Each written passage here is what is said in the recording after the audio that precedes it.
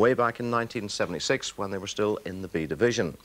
Well, here's how they lined up. A couple of names to look out for on the Carrick side. Striker Jeff Ferris, a cup winner with Glenavon three years ago, and skipper Kel McDermott, a wise old head in the defence. Well, they were missing injured striker Neil Candlish, but everywhere you look, they've got quality players in key areas. The commentator is Mark Robson.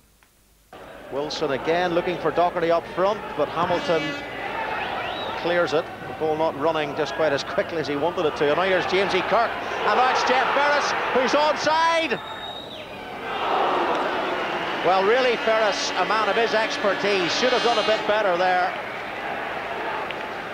That was a very, very good ball played through, but you have to say that that was a pretty good chance for Carrick Rangers. There wasn't a defender anywhere near them.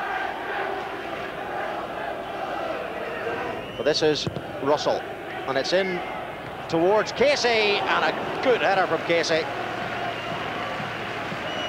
Robert Casey scored 13 goals this season. Another excellent free kick from Martin Russell. And Casey climbed very well above the Carrick defence. Forward for Cunningham. Beaten by Gilmore. And now here's Casey. And that's a good ball out to Philip Major. And Ferguson away on the far post. Screaming for the ball. Here's uh, Joey Cunningham. Takes on Kel McDermott. Does well, Cunningham. Cunningham. Oh, and it was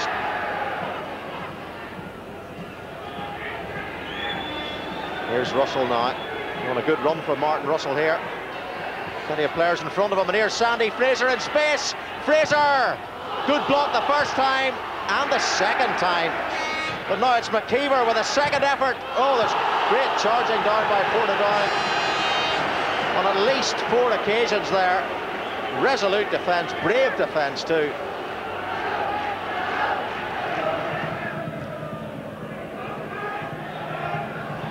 Wilson, McCauley. Now Russell as uh, McKeever in midfield. There he is. McKeever finds Casey. To his right he has a uh, Major, but Casey doing it himself here and doing pretty well. And Casey in for Cunningham. And Casey might try one himself. And it was pretty well struck by Robert Casey.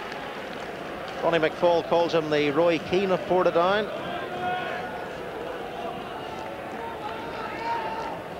and uh, plays, as has played for Portadown in almost every position on the park.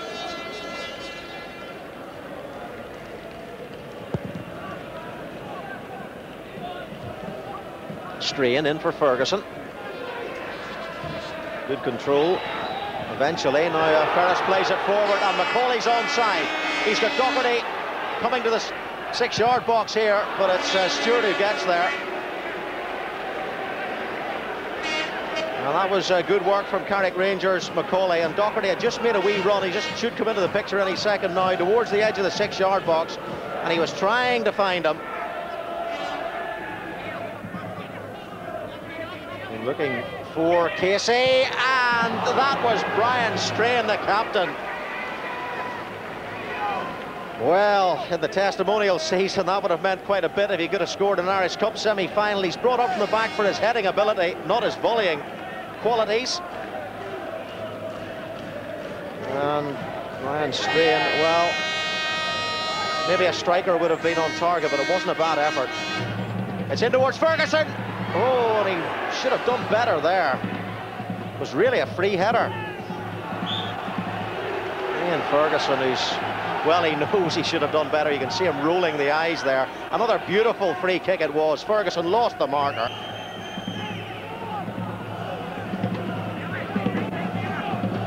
It's Philip Major in the meantime. Casey once more is at the near post. It goes a bit further this time. That's Gordon. Kirk gets it away. Now McKeever. It's Casey. Spreads it a little high for Peter Murray. It's got uh, Martin Russell in front for the ball wide. That's Ferguson though, and here's McDermott forward. Jeff Ferris. Time to uh, settle on the ball. Now Murray gets the tackle in. Ferris to Coulter. Coulter forward for Macaulay. In for Coulter. Good work from Carrick. In for Docherty. Back there is Major. And probably Carrick's best move of the match. They've had a couple of pretty neat movements here so far. Doherty to Macaulay.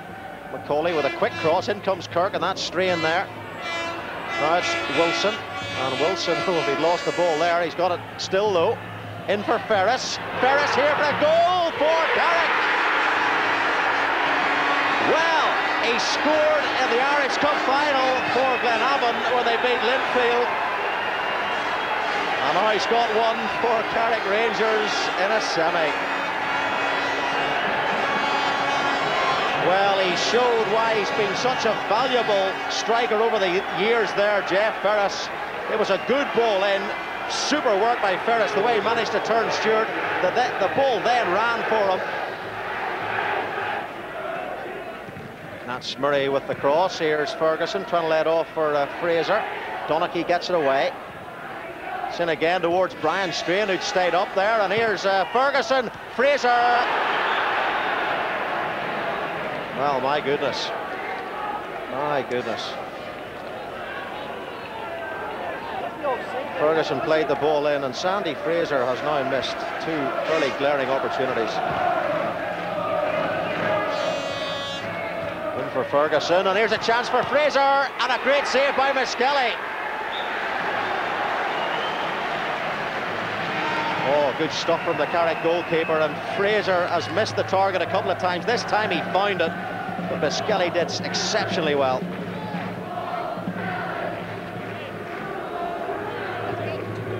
So Joey Cunningham with the corner for Portadown as half-time approaches. Martin Russell near post. Brian Strain is up there as well. Russell and Casey. How did he not score? Well, Portadown have missed some chance in this first half. What a good corner it was.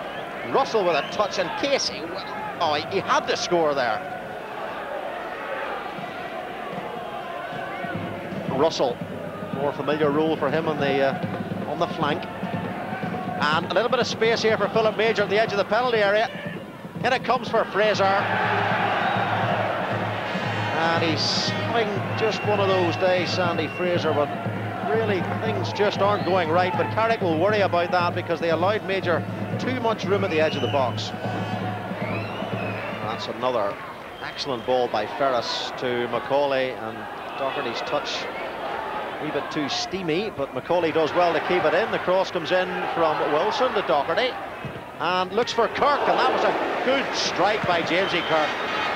Another well-worked Carrick move. Doherty with a super little layoff here, and a snapshot it was from Kirk. That's Colin Crawford and uh, John Muldoon. Colin Crawford uh, is uh, banished from the dugout today, suspended by the uh, IFA and has to do all his communicating on the phone and walkie-talkie to the bench. Johnson. Challenge again, but the referee this time says it's a free kick against uh, Warren Wilson.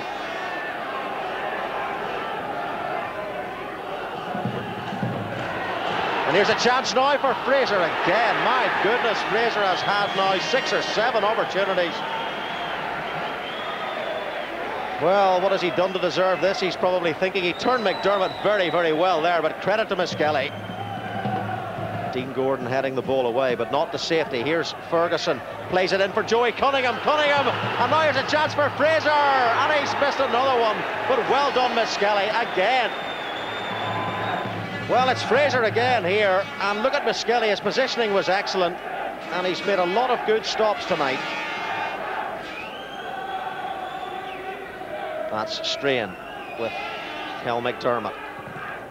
This is Andy Kennedy now, and it's come off Miskelly, and Ferguson comes in. It was Russell initially, and Frank McDonald blows the whistle.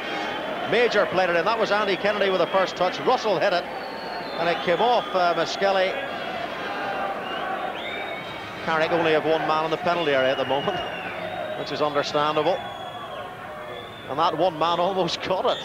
And it doesn't matter because the whistle's gone.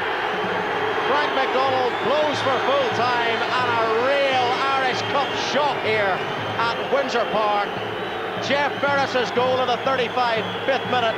memories of 1992 will come flooding back to him when he scored in the Irish Cup final when Glenavon won. But for this uh, Carrick squad and Carrick supporters, their memories will be of 1976 when they last won the Irish Cup and of course then Crusaders won the league championship.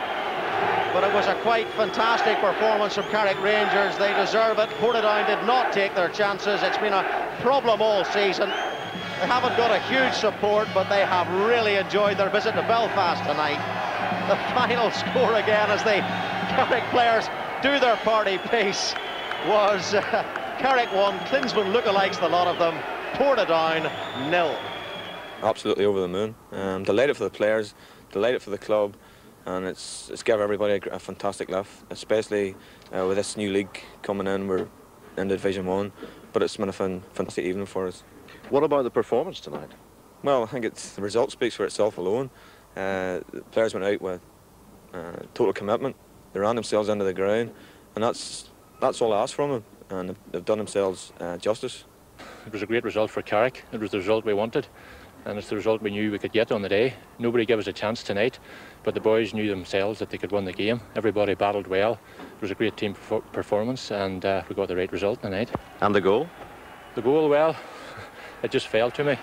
Uh, a wee bit of luck, and I just hit it first time, and luckily enough it went in. And I think I knew, we knew that if we scored early on in the, the first half, we could hold on and win the game, and we did. You joined Carrick in November. Did you, uh, hand on heart, think you'd be playing in an Irish Cup final again? No, I thought my Irish Cup finals were long finished, but uh, all credit to Carrick. Uh, we battled well throughout the season in the Cup, and uh, we had a feeling inside ourselves that this was our year, and we're in the final now. Unbelievable, first Irish Cup final. Can't believe it. You know, what can I say? But to beat a side like Portadown, um, I mean, a lot of people will see this as a big surprise. Well, we played them in Eureka two weeks ago and we were one 1 level two minutes to go and beat us 2 1. So on the night we deserved it, like, battled hard, fought, and that was just it. The manager, you were banned from the dugout tonight. Uh, yeah. How did you view the game? Well, I was sitting in the press box. I think they were kicking me out every other part of the ground, so the press man, thanks very much. Uh, they got me in there, and I think I had a good seat, seen most of the game. Uh, well, a few Portadown men jumping up and down in front of me, but on the whole, uh, certainly nerve-wracking for 90 minutes, but very enjoyable at the end of it. I'm sure it was. Delight all round for Carrick Rangers. David, what a turn-up. What a fantastic night for Carrick Rangers. Absolutely outstanding. It was at the game, thoroughly enjoyable match, and it was by no way a lucky Carrick victory. They were outstanding. Yeah, the, the Carrick performance, was very gutsy, wasn't it? Magnificent. To a man, epitomised for me by young Philip McCauley outside right, worked his socks off, was taking and tormenting, uh, taking on the, sort of the, the, the Portadown back four, tormenting them, and then back helping defence. He epitomised the spirit right throughout the side, and, and they worked very, very hard. And a fellow you know well, Kel McDermott, I thought he had a super game. What can you say about Kel Archie McDermott? magnificent, absolutely magnificent. He prompted and prodded, he talked to the young lads, he encouraged, he kept them going, he filled all the gaps, and for me, he belied his 33 years. He was magnificent. Well, let's see the goal. Mr. Ferris supplied that, and what a goal it was. Great ball through Warren Wilson. Jeff turns Alfie Stewart and bang the back of the net.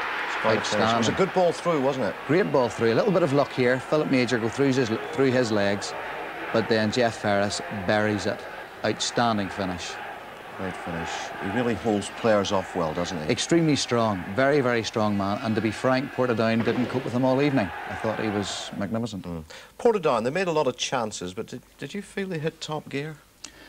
It was one of those games where I felt maybe Portadown thought that it was going to be easier than what it really was. I think no matter how good a side you are, and they are a quality side, let's not forget that, they've some fantastic players, but you've got to battle to win the right to play.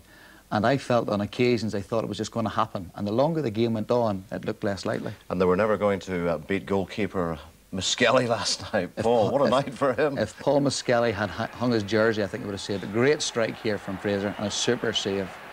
Absolutely outstanding. And he was so bubbly in the interview, he really enjoyed it. Here's another one. Here's another. Sandy Fraser again on his left foot, stands up very, very well and makes another good save.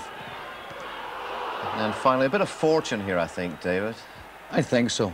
But as I say, it, it didn't right up the face. But I, th I, say, I think if Paul had hung his jersey, would have saved it. But a great night for him.